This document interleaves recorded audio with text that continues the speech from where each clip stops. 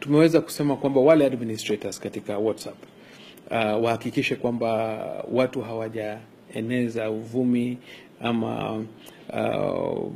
incitements katika social media, na imesemekana kwamba kama uh, administrator uh, ikiwa hiyo platform ama app itatumika vibaya, basi hatutaendea wale wengine, ni wewe tu tutakuja tukushike na tukushtaki.